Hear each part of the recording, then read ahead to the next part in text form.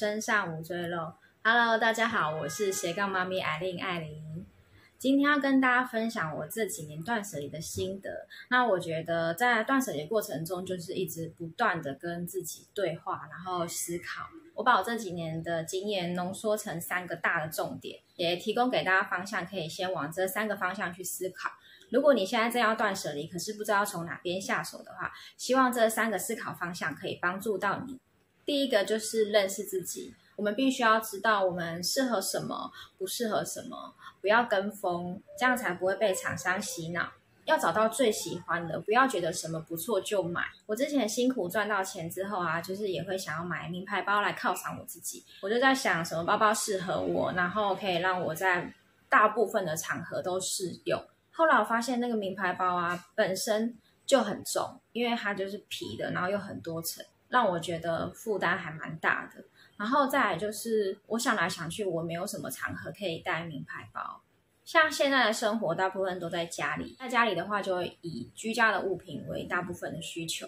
那如果以我在工作的模式的话呢，工地那边都是粉尘，然后也没有什么地方可以放包包。通常去那边都是包包可能丢地上，然后可能要爬上爬下去看一些东西，确定一些现场的状况。所以我觉得工作的时候我也不太适合带太好的包包。然后假日跟老公还有小孩出去的时候呢，我们也都是上山下海居多，所以我觉得也不适合带名牌包。我想到唯一可以带的大概就是婚礼吧，可是婚礼一年才参加几次，除了我要有个地方收纳它以外，我可能还要花时间跟金钱去保养它。后来呢，我就打消了这个念头。那这一笔钱呢，我原本是打算等我女儿满三岁的时候规划一趟亲子游学。我觉得这对我来讲还比较有意义，因为可以跟女儿一起出国，留下美好的回忆，然后又可以让她学英文，我自己也可以复习一下我的英文。我觉得这一笔钱花在这里的话，会带给我比较大的幸福感。所以呢，我们就要去思考一下，别人都有一个名牌包，别人都有什么，我真的也需要吗？那无奈就是去年五月爆发疫情，所以目前这个规划还是搁置的状态。那还有一个例子是，我相信很多人也会跟我一样，可能会把娘家的一些习惯带到跟老公一起组的新的家庭里面。比如说，以前我在娘家的时候，我们家的工具箱是放在电视下面那个电视柜的一个抽屉里面。然后我跟我老公一起住了之后，我也是把电视下面规划了一个抽屉，是专门放一些铁锤啊。螺丝起子啊，热熔枪啊，或者是螺丝钉啊，膨胀螺丝这一类的修缮类的工具跟材料，在旧家住的时候啊，其实常常需要维修的地方，大部分都是厨房跟浴室。然后我就发现说，我老公在修理的时候呢，就是我们要一直跑到客厅，然后拿什么工具，然后再回来回来再弄的时候，又发现说，哎，又又少拿了什么东西，然后又这样来来去去这样跑，然后我就发现说。哎，这动线规划不对，难怪人家都要用工具箱。后来搬到新家之后呢，我就把电视柜取消，买了一个工具箱，把所有的修缮的东西都放到工具箱里面。当然，这中间有进行过一些挑选跟断舍离。目前这个工具箱呢，是放在我们后阳台的洗手台柜下面。所以，我们家现在的电视墙是长这个样子，电视墙只有电视跟扫把。然后摆几盆植物跟一个时钟，就这样子，没有任何的柜体，也没有任何的杂物。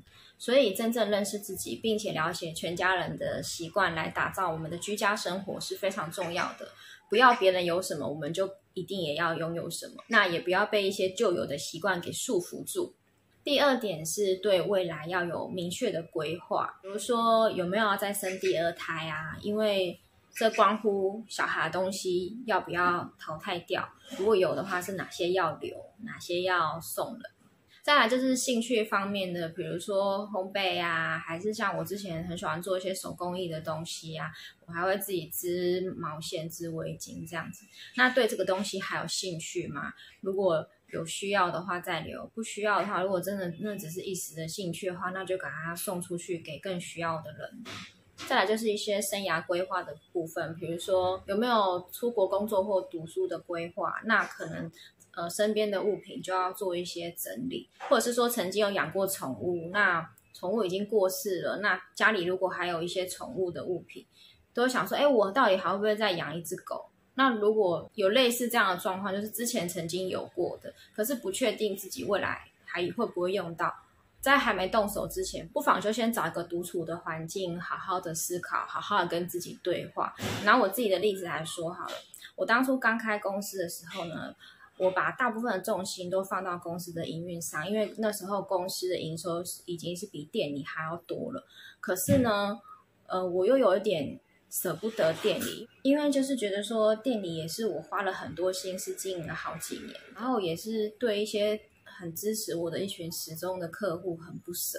但是那时候公司的业务已经上轨道了，我每天真的都很忙，所以后来我就先把我店里一些生产设备跟家具先搬走，然后我就租了一个仓储空间。先把那些东西都塞进去。我那时候就想说，看怎么样之后再说吧。我先把公司最近重要的事情先忙到一个段落，之后再来思考处理开店的这件事情。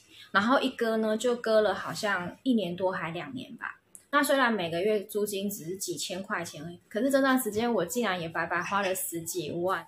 后来我为了停损。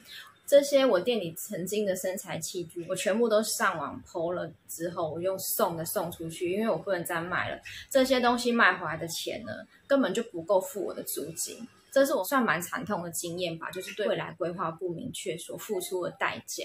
那在这边就是提供我这个经验 给大家参考。那有了这个经验之后呢，我绝对不会再把我家里的物品说，呃，我现在还不能决定的东西，我先暂时租。一个空间去放，然后等未来看怎么样再说。因为拖是拖到自己的金钱，所以我家里的物品我现在处理的很干脆。我如果舍不得那些二手物品的钱，我会失去的更多，我会付出更大代价。